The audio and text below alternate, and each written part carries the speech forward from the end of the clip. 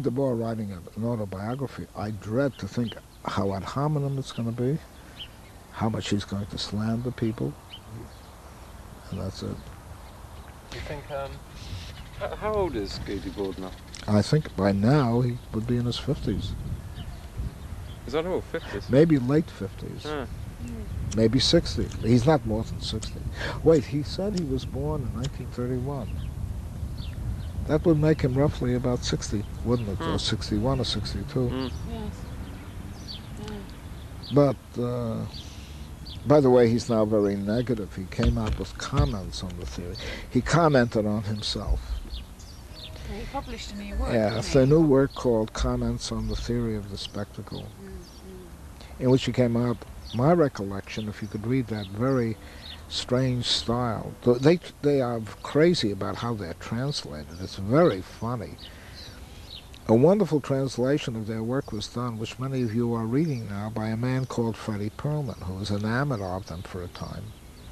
And he translated the theory of the spectacle into English, and he did a beautiful job, exquisite. But because they had not supervised it, they condemned it. They condemned it. And believe it or not, and this is the absurdity of the situation, one of their people put up posters, as they used to do in Paris, in New York. Where? In the Lower East Side. You know who lives in the Lower East Side of New York? Blacks and Puerto Ricans.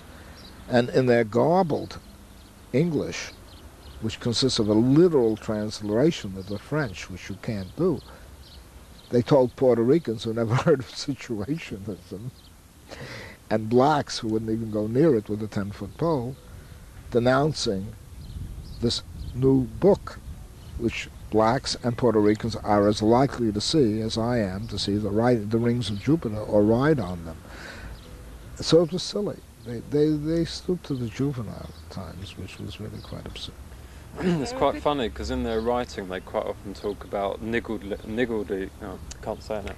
They talk about. Nigglediness. Nigglediness. Nigglediness. Nigglediness? Is it in the English translation? Well, niggle, to be niggly is to be, uh, Annoying. is sort of, is to be like this all the time and, you know, kind of poking and Uh-huh. aggravating and Picking. it's more like childish behaviour.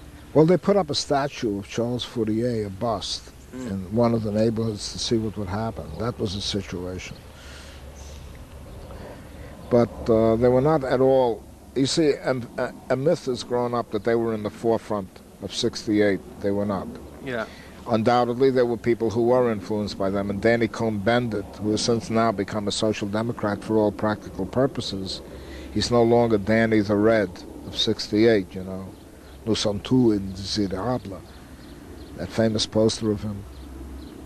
Well, Danny is now a Realo and works in the government, uh, in the uh, Frankfurt government, in charge of uh, emigres, you know, people who are not emigres, people who are uh, refugees. Mm.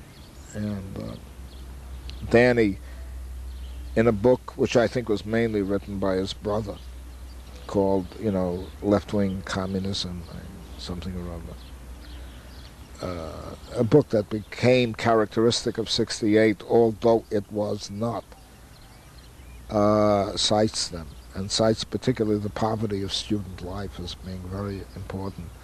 But uh, I know a good deal about the poverty of student life pamphlet and all the shenanigans that went on with the student funds. You see, that was a crisis that occurred with where did the money go? Oh, right. If you read that pamphlet, you'll see that a lot of it had to do with where did the money go. And uh, that's a mixed bag that uh, I would have to go back to files and memories to find out where the money went. but in the course of doing so, of course, they made their critique of education. Life is boring. But I don't know that you can jump from one stone to another in the name of situationism to make life ecstatic. I don't think you can live on a level of everyday ecstasy.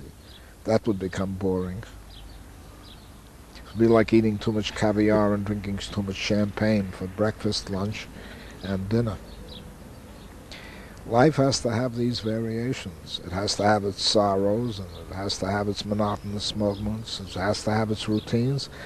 Otherwise, the idea of the enjoyable, the of pleasure and freedom are not visible. They don't have any definition anymore. They are partly defined by certain contrasts. There are routine things that we have to do, which make it all the more enjoyable to do, shall we say, the ecstatic or engage in the ecstatic engage in ecstatic experiences. So I think that there's a good deal of juvenility in that type of mentality that life must be one ongoing ecstasy. Just let, let make it. En- it's enough to make life artistic. That's okay, Yeah, that's, uh, Yeah. but not an ongoing ecstasy. Be a bit tiring, really. It would get tiring if it became nothing but an ongoing ecstasy for the very simple reason that it would be quite impossible to know what ecstasy is. You'd have to spend a lot of time trying to.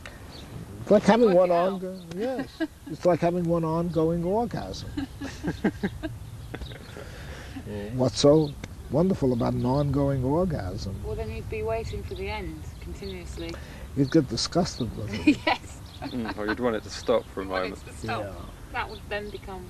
That feeds into the question ecstasy. of work and toil and all the rest of that. There have to be moments when one has to confront routine activities and responsibilities to make other forms of activity, creative work, creative. And what lies behind creativity, which, as Goethe so very well understood, are the hard, painful, onerous tasks of preparing. Beethoven's symphonies and sonatas were not composed just spontaneously. This man worked and labored on his material until he produced these masterpieces. And that's the thing that we're losing today. We're losing the idea that behind every work that is truly marvelous, the merveilleux, as the surrealists used to put it, behind that lies the routine activity of preparing a canvas. You know, if you want to speak of painting as a case in point, preparing the paints, organizing the palette, and laboring carefully to finally produce that exquisite work, which we call a work of art. Similarly, music, the pain of working and toiling and reorganizing and bringing mind as well as sensibility to bear on a symphony as magnificent as the fifth, which starts with only a few notes, da da da da, and then goes through this masterful variation of this. That is hard work. But it is hard work that is inspired and that ultimately leads to an aesthetic masterpiece. And so I don't believe in living entirely all the time on the level of le merveilleux, the marvelous, the ongoing orgasm, the pure moment of all nothing but pleasure. On the other hand, work can become miserable. That's another story. That's what we want to get out of work. That's when we get from work into toil. We get from freedom into necessity.